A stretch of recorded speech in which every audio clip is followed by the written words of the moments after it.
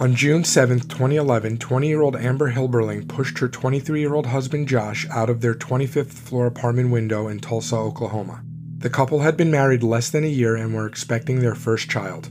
They had been having an argument when a pushing match ensued, causing Amber to push Josh backwards out of the high rise window before running downstairs to hold his lifeless body. Amber was arrested and charged with second degree murder.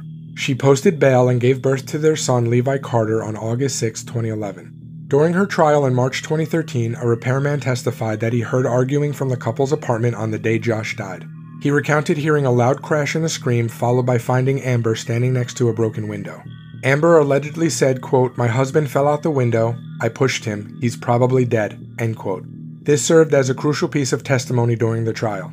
Amber Hilberling was convicted of second degree murder on March 18, 2013, and was sentenced to 25 years in prison. On October 24, 2016, Amber was found hanging in her cell from an apparent suicide.